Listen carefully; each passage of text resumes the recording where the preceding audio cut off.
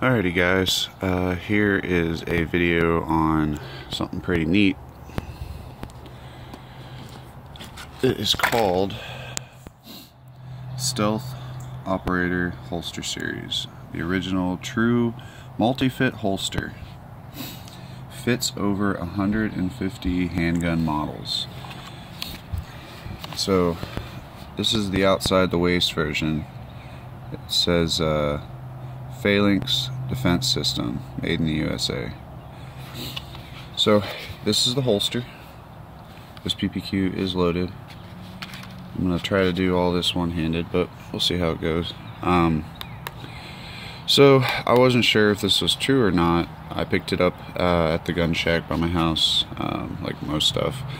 Uh, the guy there, I guess, had seen this at SHOT Show um, and he ordered a bunch. But anyway, so it's just a plain thermal mold style holster. It doesn't feel like Kydex, it's definitely like a thermal mold. But the way they cut this um, makes it a little little different. So anyway, I got a PPQ Navy in here, and like I said, it's loaded, so I'm not gonna play around with it too much. But anyway, so the retention's there, as you can tell. I'm gonna go ahead and sit PPQ down. So, um, what's kind of neat about this, like I said, is it can hold all different types of guns. So I got just a few different ones sitting here.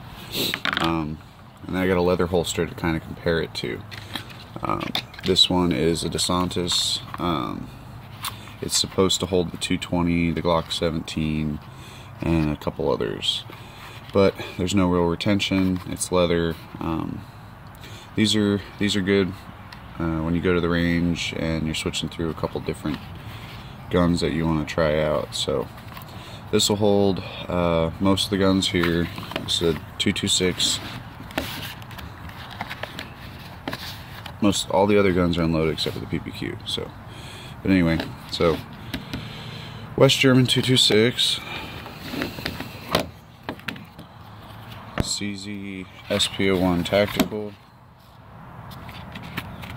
Again, there's no retention. Um, this is the one that I have the most problems getting holsters for is the Phantom. So again, I can use this for inside the waist carry for most of these guns. It won't fit stuff like this uh, Glock 21 this is the one with the ambi safety uh, that they recalled um, and the pic rail. Night sights. So it's 45 ACP. One day I'll review this, I think, but not right now. It's never failed me, but they did recall it. If you were to send this in for repair, uh, you'd probably get a different frame back. Anyway. And then, of course, PPQ. This one's a Navy, so so you can tell it fits all these guns. okay, so that's a leather holster that has no retention other than your belt. Alright, so start with uh, this 226 West German. Alright, so no rail system and it fit. Let's see if I push real hard the retention's there. Go ahead and back it off my shoe. Alright, so it fits that. Square trigger guard. CZ SP01 Tactical. Highly modified. Okay, let me uh, push this one in. There we go. Heard it snap. Sticks out a little bit because it's a long frame but it has retention. Now here's where I always have the problem with my Kydex holsters and stuff. Um, I can't switch or use all the holsters I have from SP01 with the Phantom.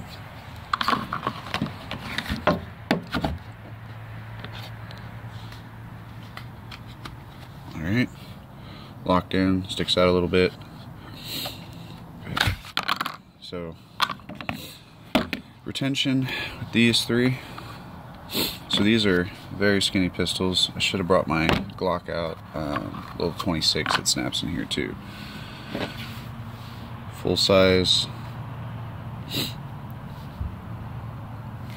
With the pic rail, which I never can find holsters for. Let's see if it does.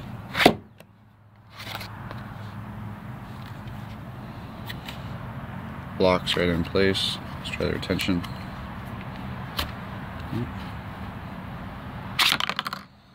Has retention.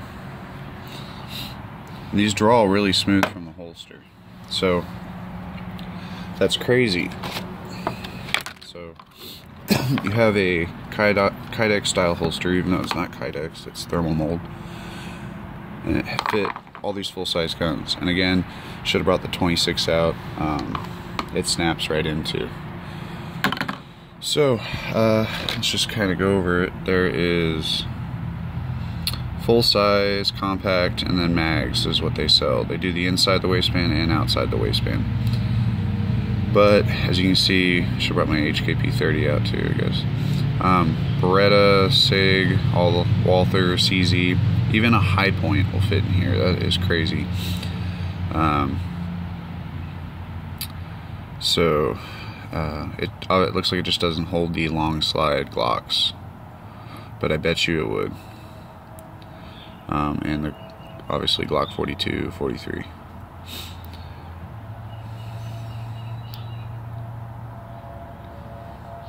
But yeah, Stealth Operator Holster Series. Just kind of holding this here so you guys want to see if yours is on there. But I actually haven't had uh, any problems with it. I'm extremely surprised. I mean, obviously it's not a light bearing holster or anything, but for what this thing can do, does the same thing, you know, as this leather holster, but with retention. I mean, go to the range, put this on, bring an assortment, and you can actually, without having to take your belt off or do the Velcro in a double belt or any of that, and have to buy a ton of holsters and I got this for $29.99. Um, they gave me like 10% off or something, so I think I paid just $29.99, little or, or a little under um, for it. But that's insane. It says fits 150 holsters uh, or pistols. Uh, sorry, I'm just still waking up.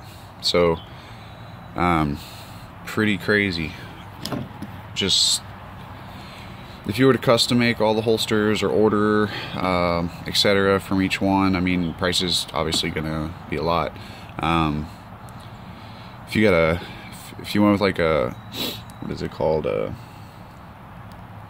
on your six holsters that they sell in San Antonio for each one of these uh, inside the waistband you're probably looking at about $30 a piece. Um, so uh, that's that's quite a bit. Um, outside the waistband, you're going to probably pay more, uh, between you know 40 and 70 per holster. 30 bucks one thermal mold holster. Now you can kind of see, um, and I mean, you know, the holes are there, so you can run, you know, MOLLE attachments and paracord and all the other options. Um, they did rivet these directly on to uh, these clips. Um, these clips work. They hold uh, I put my inch and three quarter belt in there and it fits um, and it has just a little bit of play. Um, it doesn't say uh, two inch but I'm sure you could probably get it in there. It fits fine on my inch and a half to inch and three quarter uh, FirstSpear belts. Um, again this is uh, pretty crazy that it can accommodate all these. Um, they have different ridges pretty much I thought most of the lockup was on this trigger guard but there's actually a couple different points of contact inside for various guns that will lock in. Um, but my biggest problem, like I said, was I love CZ, so to go from a round to square, um, that's pretty crazy. So both those trigger guards will work. SIG trigger guard is completely different than most of these um, with the angle and everything on it. Um, but putting a 45 ACP and a 9 mil. Um, I mean, look at the thickness between that and that. That's pretty crazy. I mean, But anyway, um, save some money. Again, stealth operator, and it's a phalanx, so that's pretty cool. Um, I don't know what else to say about about it other than wow. So if you guys want to save some money, if you guys go to the range or you do any training and one of your guns go down, you don't have to bring a set of holsters or anything like that. You go grab another one, snap it in. Um, PPQ is completely different, The rounded edges, and it clears these HD sights. So again, I'll put the loaded one back in, but it just locks in place. That is pretty sick. And that's with the threaded barrel and it sits almost flush with retention. All right well that's pretty much gonna do it. Um, at, I don't really have anything else to say other than that's wow 150 different pistols it can hold.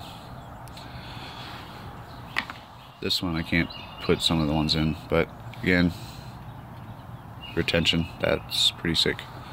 Alright guys. Later